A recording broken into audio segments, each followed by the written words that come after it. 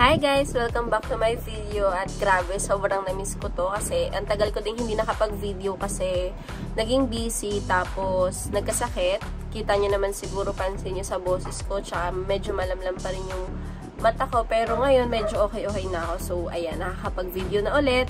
At ngayon, syempre, dahil nakapag-video na ako, i-share ko sa inyo ang aking Karen skincare product na ginagamit at actually hindi siya set. Kakaiba to kasi toner lang yung ginagamit ko kasi nabanggit ko nga na nagkasakit ako. So medyo mahirap kasi magkasakit ngayon 'di ba? Nakakatakot. Kaya naging extra careful din kami. Talagang hindi ako pinapaligo kung hindi ako okay. Ilang araw din yun. Tapos na parang halos bed rest lang ako. So hindi rin talaga ako nakakapaghilamos nakakapag skincare pero hindi ko kinalimutan gumamit nitong toner na to ito lang talaga, hindi ako nakakapagsabon, nakakapaghilamos, hindi ako nakakapaglagay ng sunscreen, gel, at kung ano-ano. Toner lang talaga. So, isi-share ko sa inyo kung ano, ano tong toner na ginagamit ko hanggang ngayon. So, itong toner na to ay yung Omo White. Ayan. So, actually, merong tatlo nito. Itong black, pink, and blue. Ayan. Pero ang ginamit ko lang is yung black. Kasi, bawat color, para siya sa every skin type. So, dahil ako ay merong combination to oily skin, ginamit ko tong black, which is for normal to combination. So, hindi naman kasi ako ganun ka-oily. Combination lang, sakto lang. Kaya, itong black yung ginamit ko. So, itong black na to, um, ang tawag sa kanya, Inten Intense Cleanse White.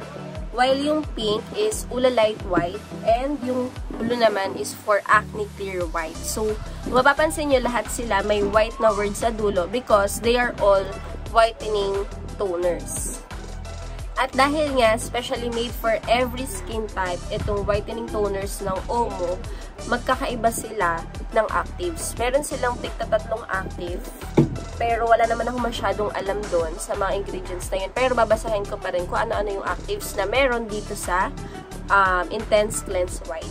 So, ito ay activated carbon, allantoin, at alpha-arbutin. Yung alpha-arbutin medyo um, lagi ko na siyang nababasa sa mga whitening soap. So, may mga nagagamit na ako before na merong alpha-arbutin. And then, yung actives naman na meron dito sa Ulalite White na for normal skin ay glutathione, lactic acid, and alpha-arbutin din. So, meron silang similarities. And then, ito namang actives na Acne Clear White for oily and for oily and acne-prone skin ay glycolic acid, niacinamide, and lactic acid. So, magkakaiba sila pero meron silang mga similarities. Okay? So, lahat to ay 150 ml. So, yan, pakita ko ulit. So, ang bawat isa, 220 pesos each. And actually, nakikita ko na siya before, pero hindi ako bumibili kasi alam niyo naman kung nakakapanood na kayo ng mga video ko dati na fan ako ng mga set, yung as in, pag bumili ka, meron na siyang sabon, toner, sunscreen, or mga cream. Pero ito kasi, um, toner lang. So, medyo alanganin ako nung nakita ko siya. Pero, yun nga, pinadala na ako ng Omo White to try and to give my honest review about this. So, yun. Kung mapapansin niyo, itong ginamit ko, ayan, medyo nakakalahati na ako. Or kung hindi man kalahati, lagpas lang ng kalahati. Kasi nagustuhan ko siya. Ah, Tapos meron ditong nakalagay, magic water. Ngayon ko lang siya napansin. Ngayon lang na video ko siya. Kasi nung ginagamit ko siya, napapasasabi ko, para siyang Celetec. Kung nakagamit na kayo before ng Celetec, para siyang Celetec kasi yung Celetec, tsaka ito, para lang silang tubig. Para ka lang naglalagay ng tubig. Although, ito may may amoy siya, pero hindi siya masakit sa ilong. Kasi, di ba, may mga toner akong na-try. Ewan ko sa iba, ganun din. Meron ako mga toner na-try na ang sakit niya sa ilong kapag inaamoy. Mabango, pero may parang masangsang, ganun. May parang hapdi rin kapag ka inaamoy. Pero yun nga, hindi to ganun. Kahit na uh, may amoy siya, hindi siya masakit sa ilong kasi alcohol-free siya. So, yun pala yun. Alcohol-free kasi siya. So, yun lang. Um, About sa packaging, sobrang ganda. Napaka-minimal lang. Which is very nice kasi parang sakto lang, 'di ba? Ang sarap sa mata. Tapos, sa likod makikita mo, ayan yung about the product, vegan, cruelty-free, non-GMO, paraben-free, and alcohol-free. Tapos, once na inopen mo na siya, consumable siya for only 12 months or 1 year. So, dapat maubos mo na siya within 1 year kapag inopen mo na. Um, ito siya kapag inopen. Actually, may seal yan kapag hindi mo pa ginagamit. Papakita ko dito. Yan. At isa pa sa nagustuhan ko dito sa product na to, ayan, made in Korea. May word na made in Korea. At kung napanood nyo na yung iba kong videos before, alam nyo naman, nabanggit ko doon na kapag uh, made in Korea yung products na ginagamit mo, makaka-ensure ka uh, na safe siya kasi very strict yung mga Korean sa skincare products nila. Kaya siguro magaganda ng skin nila kasi sobrang strict nila. Dumadaan ng maraming quality control. Dahil nga, gusto nila i-assure kung okay yung products na nanggagaling sa kanila. So, yun. Masaya ako kasi made in Korea yung Omo. Parang kita naman siya dito. Ayan, meron siyang Korean Keming characters. Pero hindi ko naman alam kung ano ibig sabihin. So, yun. Ayan, so much about this product. So, ngayon, share ko na sa inyo yung naging experience ko. So, um, dahil nga tamad na tamad ako, naka-bedrest lang ako halos nitong nakakaraang mga araw. Ito lang talaga yung ginagamit ko. Hindi ako nakakapag-sabon ng muka, nakakapag-sunscreen, gel, or whatsoever. Ito lang. Parang ito na rin yung pinapanghilamos ko. So, nilalagay ko lang siya sa bulak. Actually, sobrang tipid niya gamitin kasi nga hindi siya na, parang hindi siya natutuyo agad kasi parang tubig nga lang siya. Nakalagay dito magic water. Hindi ko lang alam kung pareho siya dito sa Ula Light tsaka dito sa Acne Clear White kasi dito nakalagay magic water. Dito, pure pore. Tapos dito naman sa Ula Light is classic beauty. So, hindi ko alam kung pareho silang, pare-pareho silang ganun yung quality ng mismong toner or hindi. Pero siguro, pareho kasi lahat naman to alcohol free. Kasi usually ganun eh, kapag ka may alcohol content, yung toner, dun siya yung mabilis matuyo. Parang ganun. Actually, naiwan ko pa nga ito na isang gabi naka-open na ganyan. Buti na lang, hindi siya naubos. Kasi di ba may mga ganong toner, pag naiiwanan mo, nag-evaporate siya. So, hindi naman to ganon. Yun na maganda. Tapos, tipid niya gamitin. Kasi, yun nga, para lang siyang tubig. So, para ka lang naghihilamos. Tapos, ginaganyan-ganyan ko pa yun sa gabi. Kasi mas maganda daw yung medyo pinapat-pat mo yung face mo. So, yun.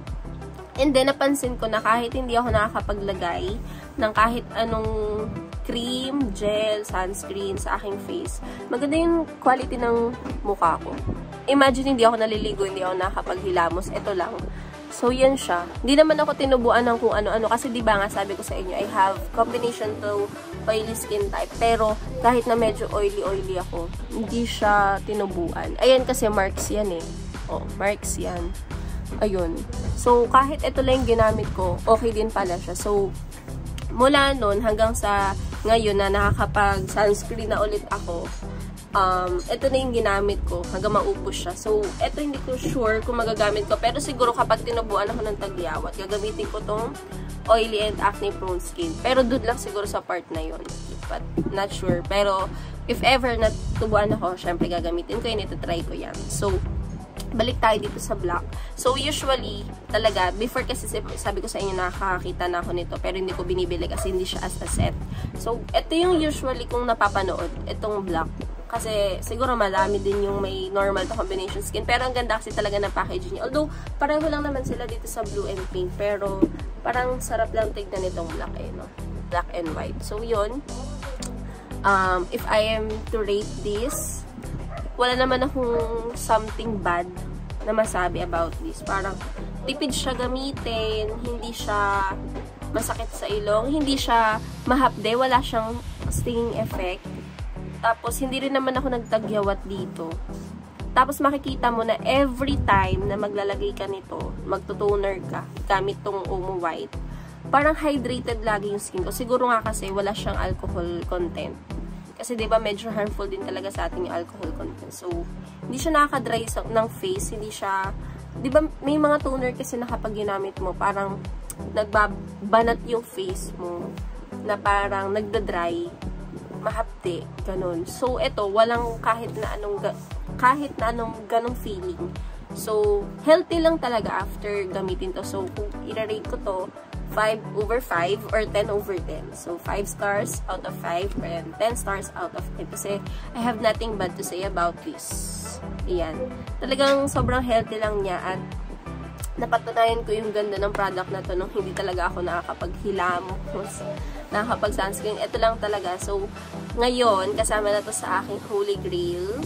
Ayan, so thank you so much Oma White for sending this. Kung kayo ay interesadong bumili nito, available to sa Shopee, sa Lazada. Pwede nyo ring i-check ang kanilang IG, Oma White, Oma White page, or ilalagay ko na lang sa description box yung kanilang Lazada link and Shopee link, pati na rin yung kanilang IG. So, yun lang. Thank you so much for watching. I hope you guys try this as well kasi sobrang worth it niya. For only 220 pesos. Sobrang tipid nito gamitin. Imagine, parang 3 weeks ko na atang ginagamit to. Kasi nung nag-rest din ako ng face from uh, from a set of different brand. So, ginamit ko agad to. Hindi ko na actually pinagpahinga. Ito yung ginamit ko as my, during my resting period. So, yan. So, yun lang. Thank you so much for watching.